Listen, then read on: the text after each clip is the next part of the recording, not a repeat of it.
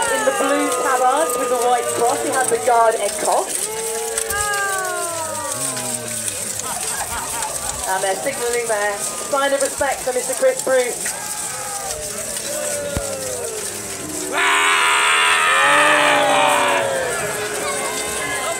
Someone's private retinue there at the end. They're not wearing any particular household coat.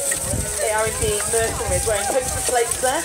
Light, flexible, and for naughty arrows getting to your important squishy bits.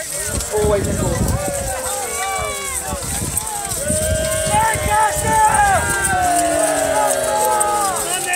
And we, I guess you can see again on the far right